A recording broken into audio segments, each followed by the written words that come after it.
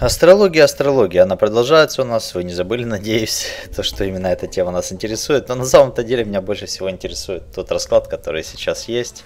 Подкрепления потихоньку подходят, но все же мы должны еще больше потенциала накопить для конкретного категорического удара по Дейлу, чтобы раз и навсегда прекратить любые расхожие мнения по поводу слабости нашего государства, и чтобы зафиксировать победу на века, и дабы будущее поколение орков, эльфов, э, гномов и остального, хотя я не планирую будущее поколение, например, гномов и эльфов, ух ты, Блин, опять же Дейл, ну что такое? Как раз если бы у нас удалась кампания, которую мы ранее проводили, мы бы успели.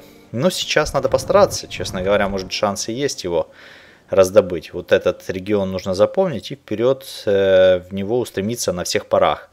Есть варианты, да, ну, э, так, как же решить, Дарвинион нужно брать или нет? Как вы думаете, стоит ли его оставить руну или, может быть, взять нам?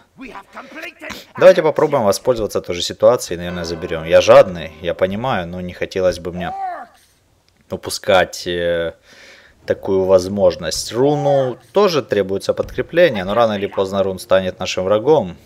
Надо рассчитывать на эту ситуацию и, исходя как раз из этого самого момента, планировать свою дальнейшую деятельность. Переформируем войска.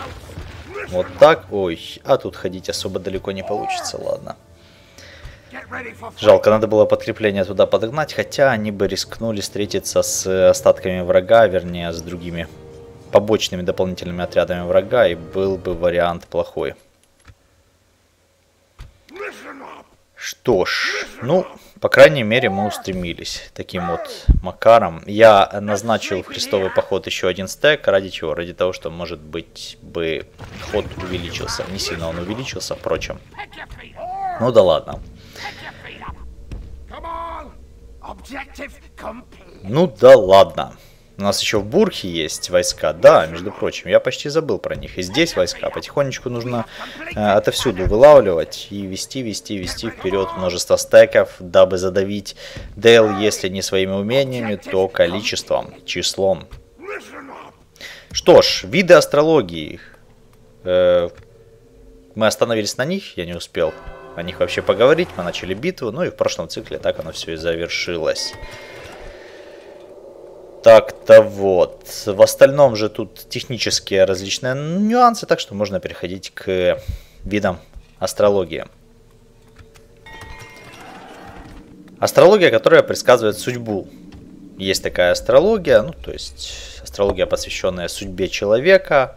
Э, понятное дело, что это связано с знаками зодиака, с тем месяцем, когда он родился, с тем числом месяца, когда он родился, может даже с годом высокосным или нет, когда он родился. То есть вот эти все нюансы, как бы преопределяющие его дальнейшую жизнь. И дальнейшие поступки отчасти тоже. Есть еще астрология, которая конкретно может ответить на определенный вопрос. Вот если у вас возникнет какой-то вопрос, то она может с помощью различных вычислений, различных таких способов угадывания. Еще же нумерология есть, друзья. Нумерология это как бы к магии можно отнести, но с другой стороны... Да, это тоже ну, фактически не научная, безусловно, никакого отношения к научности не имеющая. Она имеет под собой основание, на основании чего? Вся Вселенная, она действует по математическим законам. Открытым, либо не открытым, без разницы. То есть числа, по сути, играют основную роль в строении окружающего мира. И поэтому Поэтому все те результаты, которые получают нумерология или астрология, они иногда могут прослеживать тенденцию, то есть как бы угадывать тенденцию самого потока реальности, то есть как происходят события. Ведь э, в мире же все закономерно, то есть мы живем по физическим законам, есть причины и следствия. То есть э, нач... Э, пошел какой-то там, пошло какое-то действие, и, соответственно, у него есть определенные последствия. То же самое здесь. То есть какие-то э, такие тенденции оно может замечать и прослеживать. В этом, в этом, пожалуй, сильная сторона. Но э, угадывает эти тенденции астрология редко. Почему? Потому что это не научная дисциплина. В ней слишком много притянуто за уши. Как говорится, заштопанный презерватив, реально. То есть штопают на ходу дыры, которые не соответствуют тому, распорядку, который есть. Есть также множество мистических практик воссоединения с космосом, блин, там, ну, все что угодно, что вы можете предоставить. Э, так же само, как мы обсуждали э, вот эти вот стороны различные. То есть, по сути, есть то, что относится к человеку, к его судьбе, есть относится к различным Э, предсказаниям погоды, событий, всего такого. Есть снова же астрология, которая касается там, вплоть до любовных отношений. В общем, все, что касается нашей жизни как общества и как отдельных индивидуумов, астрология может делать. Почему? Потому что это шоу-бизнес, по сути. Это такая себе профессия, чем бы ее сравнить? в какой-то мере это игра в наперстки, но в другом отношении это очень древняя дисциплина, которая, безусловно, к науке имеет посредственное отношение, но, тем не менее, благодаря ей многие науки обрели ту структуру и тот вид, который у них есть сейчас. Так-то вот. И между прочим, астрология непосредственное отношение имеет к миру Толкина. Почему? Потому что человек наверняка увлекался этим. У него есть такое понятие, как гармония, гармония сфер. И эта гармония, музыкальная сфера, сфера, она часто сравнивается с этой музыкой якобы звезд космоса, которая все вместе, вот гармония Вселенной, она взаимосвязана в такт, балансирует. И, в общем, все это вот так происходит. Что бы это ни значило. Как бы. Вот что, друзья, просто мы не успели. Дарвинион пускай захватывают. Я все-таки решил сосредоточить свое внимание на совсем другом направлении. Там есть еще несколько городов дейльских. И сейчас давайте постараемся с Аравом разобраться и двигаться, двигаться далее, далее, далее. Там э, вполне себе Саруман с э, рунцами разберутся. Не будем затрагивать те моменты. Само собой, астрология очень сильно повлияла на нашу культуру. Громадное количество архитектуры, громадное количество памятников, других интересных и великолепнейших построек были посвящены астрологии. Вы знаете прекрасно, что все это и с астрономией связано непосредственно. Стоунхендж, э, пирамиды, множество-множество таких вещей, в которых задействована геометрия, алгебра, математика, география, да все что угодно. Они также связаны с астрологией, в частности, строились с астрологическим мотивом. По сути, астрология в некоторых э, цивилизациях она служила как бы как астрономия полностью. Только вот из э, тех наблюдаемых результатов делались неправильные выводы. Вот и вся разница.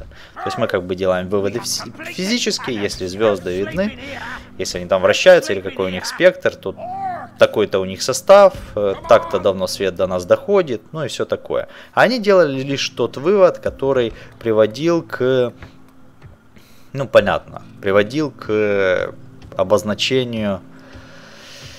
Фух, к обозначению, там, допустим, каких-то вещей, которые абсолютно не связаны с звездами. Ну, то есть судьба человека или еще что-то. Хотя, по сути-то, по сути, с той же Луной связаны приливы. Это, само собой, влияет на Землю, само собой, влияет на жизнь людей. Потом солнечные бури, которые влияют снова же на наше настроение, состояние, вплоть до э, состояния системы, системы электропитания. Все это взаимосвязано, но не в той мере, в которой исследует астрология. То есть вот такая разница, которую необходимо понимать.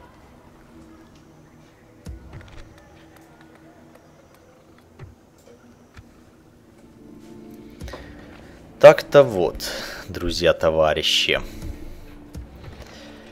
В остальном же, в остальном вы видите по карте, то есть мы потихонечку продвигаемся, но самое главное, что у нас пока эльфы не трогают у них очень, ну очень серьезные проблемы. И это радостно. Ибо это как раз та фракция, которую необходимо уничтожить в ближайшее время. Один из перво... первоочередных факторов уничтожения. И эти ребята должны поплатиться за все то злое, которое они совершили раньше против нас.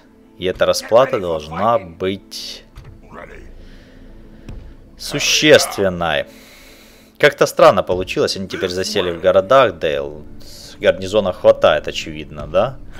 перестали потихоньку тянуть, хотя возле Арава там достаточно войск, но перестали потихоньку тянуть ту сторону. Видимо, мы их же ослабили, ну то есть э, мы туда перестали захватывать, они, вернув себе провинции, пошли по каким-то своим нужным направлениям пустили эти войска. Ну ничего, сейчас мы одновременным таким марш-броском захватим и Арав, и Дарвинион, и будем дальше, дальше, дальше давить, отомстим жестоко, отомстим Дейлу.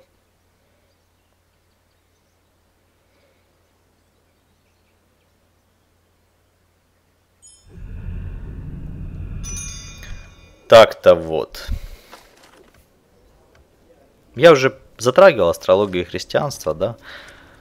У нас захват поселения Ронавост.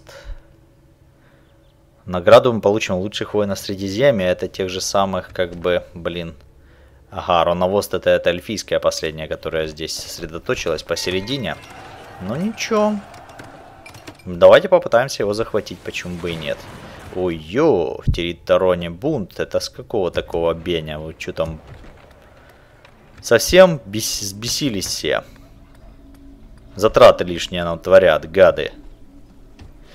Ну давайте переобучим. О, еще можно нанять здесь. Хорошо. Потихоньку, вы видите, вырисовывается что-то. Появляются города, в которых мы можем нанимать гарнизоны. Это позволяет нам формировать из нескольких городов, которые в тесном сотрудничестве находятся по тем направлениям. Какая красотища! Смотрите, еще и Аллахаев, и троллей. Все, я верю в наше будущее. Все скептики посрамлены, Мордор выигрывает. Ребята, побеждает однозначно. Безусловно, Стоило нам дорого давить Дейл, но мы его давим, и он потихоньку спускается вниз. Само собой легко это не удастся, особенно меня интересует важная составляющая, это захват вот этих нескольких городов. Так, один этап уже пройден, ого, здесь все больше и больше войск появляется. И вот этими тремя стеками мы должны пробраться и к Быстрице, и к Эсгароту, задавить полностью Дейл и лишить их вот этому вот конгломерата городов. Блин, отступил. Я думал как раз такими тремя стеками подавить. Ну, пускай. Окей, у нас есть возможность дойти и сейчас подраться уже на поле боя. Серьезным образом. Или хотя бы осадить арав, пускай сами нападают. Ага, не дойдем, да, придется ждать следующего хода. Ну, ничего страшного. Можем и подождать. Почему бы и нет.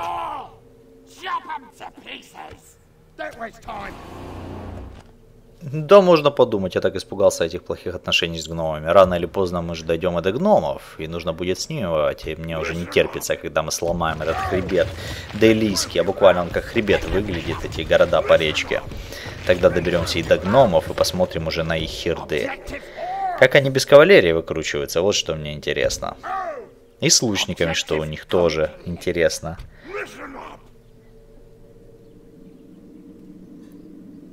Том смысле, что, ну, как бы есть же прохождение, да, там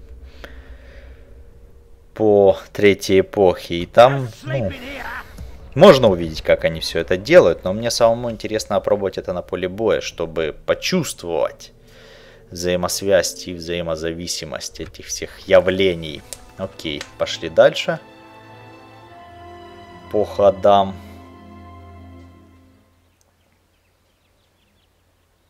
Лесные эльфы от нас что-то хотят. Ого, запросили. Хорошо, ладно, пускай вам перемирие. Ладно. Я сейчас добрый. Пока живите, вас все равно съедят оркинглистые горы. Вы настолько уже незначительный никчемный противник, что даже не хочу на вас обращать внимание. Вы просто грязь под ногами Мордора. Вы низменные твари. Бледные, уродливые, вытянутые твари. Рельсы, рельсы, шпалы, шпалы. Едет поезд, запоздал. Это по поводу роста эльфов. Они же высокие. Тетенька, снимите воробушка с дерева. Вот что я хотел бы сказать. Эльфийкам. Радуйтесь, пока есть возможность.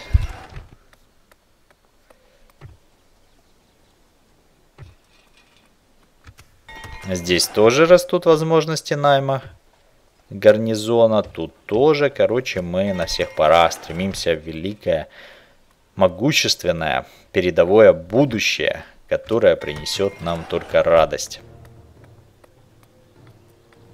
Давайте я вернусь к астрологии. В общем-то, по астрологии еще очень важна ее взаимосвязь с религией. И тут э, религия, но это я больше про некромантию буду говорить, когда буду говорить а иудаизм, вы знаете такую штуку, но там еще эм, не только иудаизм, а и ответвления его мистические, каба, каббала, ну, каббалисты там и так далее. Все эти вещи, но это отдельный вопрос. Факт в том, что Э, иудаизм связан, ну, сама Библия вообще, иудаизм и христианство, как тоже еврейская религия, христианство, безусловно, они тоже связаны с этими астрономическими явлениями. Хотя в Ветхом Завете этому уделяется намного больше внимания, но христианство ведь оно основано частично и на Ветхом Завете, вернее, даже очень сильно опирается. Та же книга Бытие, ну и другие вещи тоже обращают внимание на взаимосвязь небесных сфер со судьбами людскими. И это зачастую применяется как оправдание вот этого вот сплава христианства с астрологическими некими верованиями. Так, 1107, 653, 160. Такая вот у них шняга. Конечно, сильные, сильнейшие войска. Но я не буду спешить. Мы сейчас посмотрим, что и как творится здесь. Ой-ой-ой. Да, войску Дейла не занимать. Это мы будем биться еще жестоко. Еще какое-то время будут эти проблемы происходить. Но у нас тянутся дополнительные стеки. И посему есть надежда на то, что рано или поздно посветлеет здесь, вернее почернеет здесь, в отличие от этого жеманного синего цвета изменится колоритность областей, и мы сможем заявить, что это наше.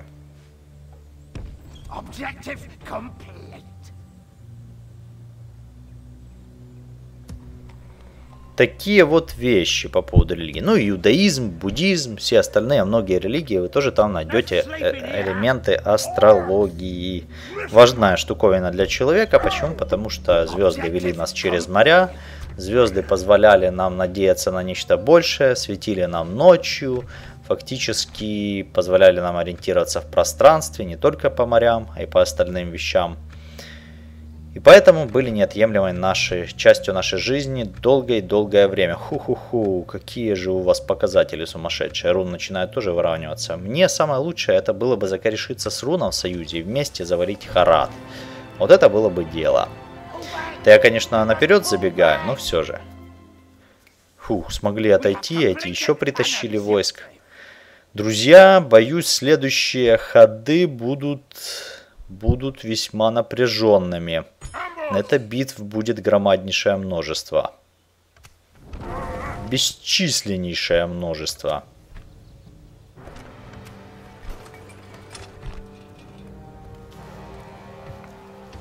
такие-то вот кренделя.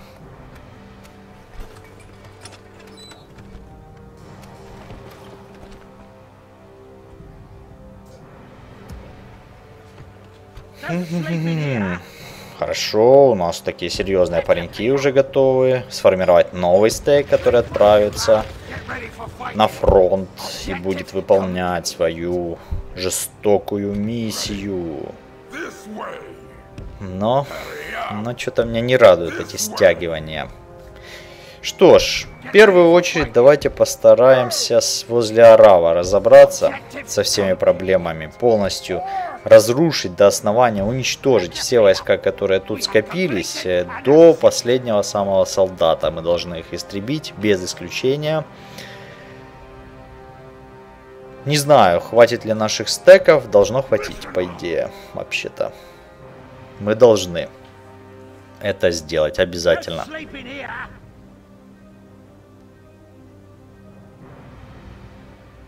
И как же это сделать лучше, я даже не знаю. Может быть, э, вот так, постараться как-то закорешить одно из войск возле Арава. Хотя нет, не получится, но если это мы подключим, и сейчас вот так сделаем.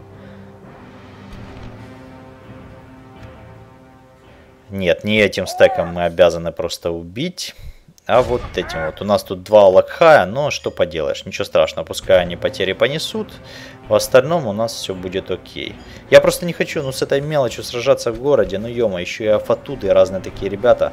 Надеюсь, главное, что наших Алакхаев 152, ну, вроде бы не сильно большие потери.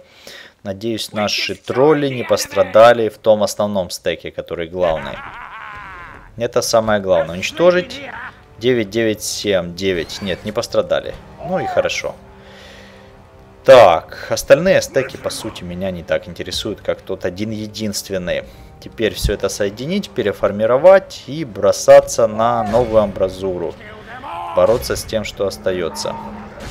Вот тут такая своеобразная драчка получилась. По 200 человек у них в обойме. У нас один Назгул. Ну, понятное дело... А, 400 здесь. Нет, не 200, здесь 400. Можно, правда, подкрепление сюда кинуть. Хотя зачем? Смысл? Слишком много войск. Опять нам не будет необходимости их попускать. Допускать, вернее, на поле боя. То есть они могут в запасе себе спокойненько держаться. Поехали. Давайте уничтожим этих, эти три отряда. И у нас останется всего какая-то мелочевка. Ну и потом на подходе, само собой, новые новые силы у врага. Так-то. Что ж, пожалуй, понятно, да, почему астрология это не наука, методология у нее, она э, не основывается на категорических фактах. То есть ничто не проверяется, просто интерпретируются данные как попало. И зачастую эти данные имеют нестыковки, они вообще не имеют никакой четкой, определенной методологии проверки. Поэтому астрология абсолютно законно относится к лженауке, так и называется. Ну а по поводу тех совпадений, что иногда что-то угадывается, я уже говорил. Что все это причины и следствия, и это как бы совпадение того, что процессы, безусловно, должны трактоваться одинаково, ибо у нас та реальность, в которой мы живем.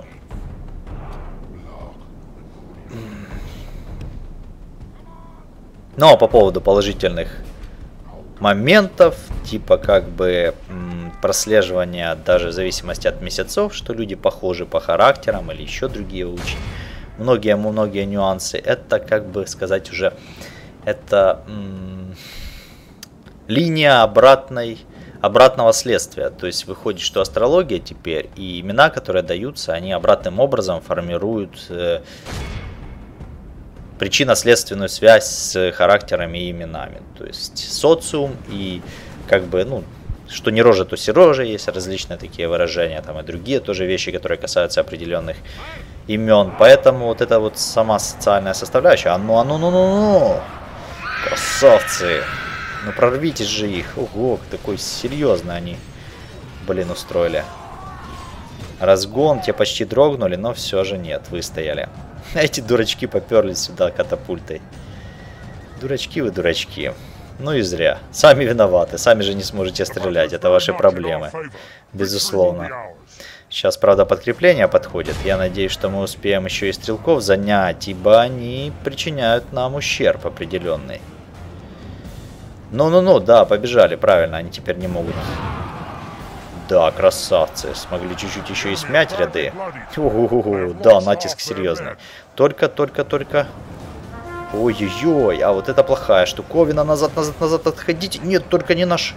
Фу, вражеский полководец. Хорошо, но, но, но, но, не-не-не, ни в коем случае. Не то, чтобы они не попали. Вы что, издеваетесь?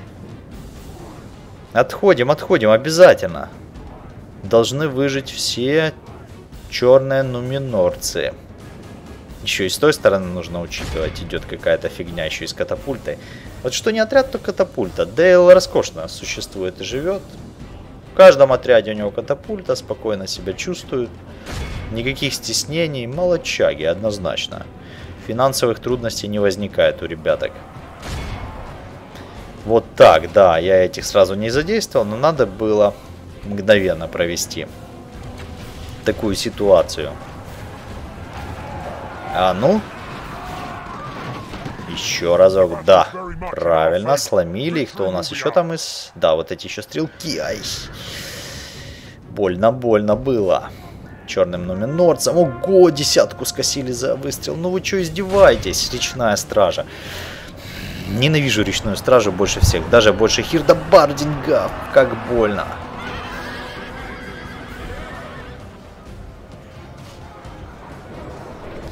Сволочи эти речная стража.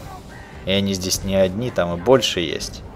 Все, надо отступать, иначе... Ой-ой-ой, иначе мы такой ущерб понесем, что больше от нас ничего не останется. Какая-то лошадиная сила, еще кавалерия здесь. Да что ж такое, у них куча различного войска, и все они как-то с разных сторон подбегают. Ну-ну-ну, почему там наших уничтожают? Все, я уже подключаю троллей. Нет мочи смотреть на то, что происходит. Пускай они домалывают солдат.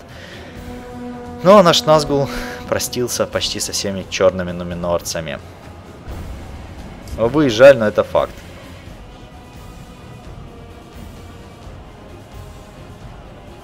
Странно смотреть на шкалу выигрыша. Вроде бы полностью все на нашей стороне, а все равно здесь дофига еще с кем сражаться. Остается. Тролли свое дело делают. Хорошо.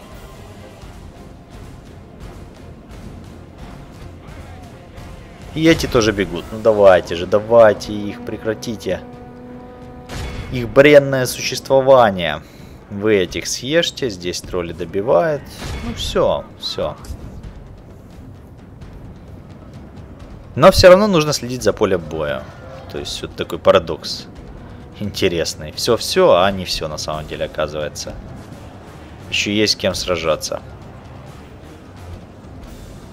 Пошли тролли, хорошо. Сейчас они тут порядок привлекут. Надо отвести нашу пехоту. Нечего здесь попадаться. Под... У меня такое впечатление, что, в принципе, это тролли могут и своих повалить. Опять же, речная стража. И опять они сейчас закинутся чем-то. А нет, разбегаются.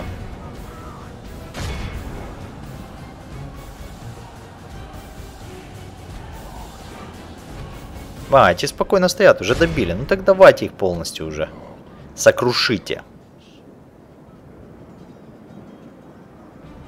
Катапульта как будто какой-то хирт Бардинга. Стоит и стоит. Да заколебали вы со своими, блин, супер залоченными на мораль войсками.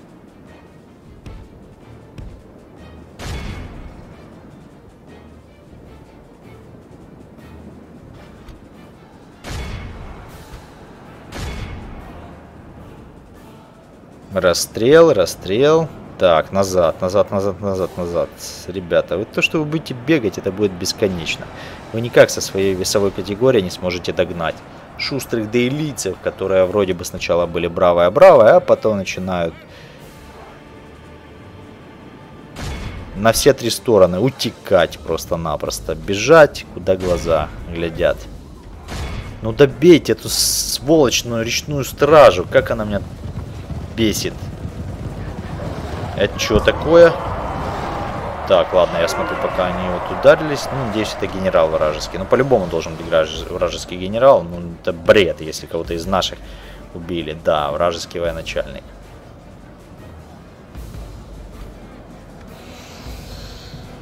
Проблематично этот Дейл. Конечно же.